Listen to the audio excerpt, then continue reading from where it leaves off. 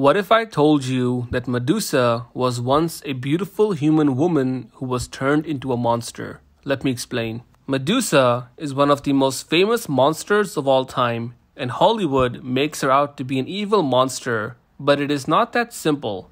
According to the Roman poet Ovid, it was actually Medusa who was the victim. Medusa was the daughter of the primordials Phorcys and Ceto and was once a very beautiful human.